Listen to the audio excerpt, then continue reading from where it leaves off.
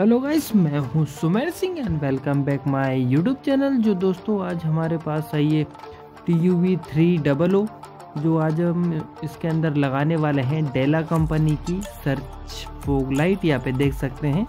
और इसमें हम लोग लगाने वाले हैं, दो सेट लगाने वाले हैं, यहाँ पे देख सकते हैं।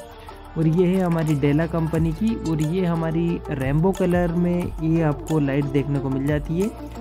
और ये है हमारी जो ऊपर जो हम लोग जो रूफ पे लगाने वाले हैं ये वाली रॉड। और ये इसका लाइट के हम लोग ये क्लैम भी आ, लगा चुके हैं यहाँ पे देख सकते हैं।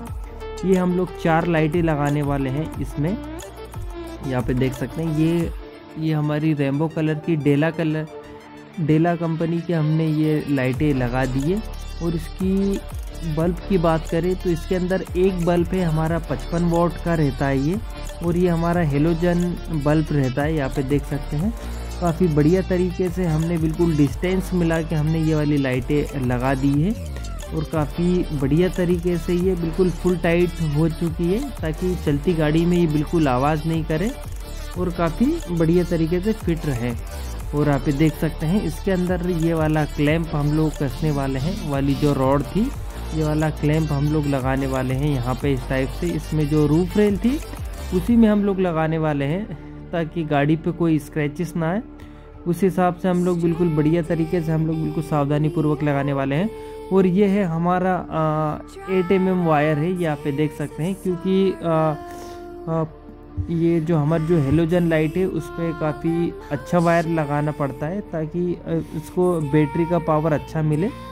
और आप ये देख सकते हैं, ये हमारा क्लेम कस चुका है, बिल्कुल ये हमारी रूफ लाइट में।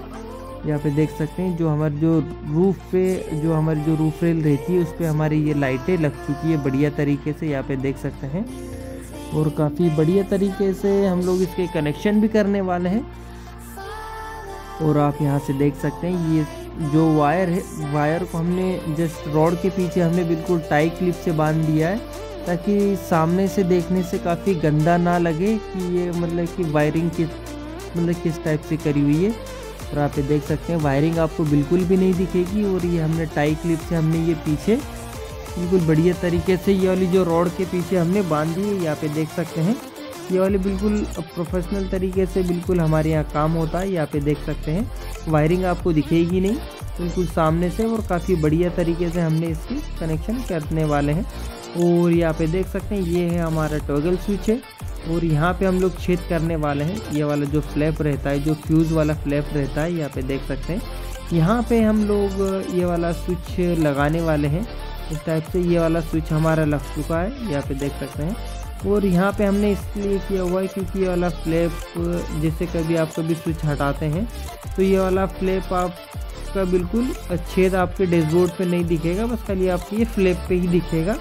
और रुपया नहीं दिखेगा। काफ़ी बढ़िया रहता है और आप ये देख सकते हैं, ये हमारी लाइट भी ऑन हो चुकी ऑन हो चुकी है और आप ये दिन में आप इसकी लाइट देख सकते हैं, कितना बढ़िया रोशनी है इसकी। तो नाइट में कितनी बढ़िया रोशनी आएगी।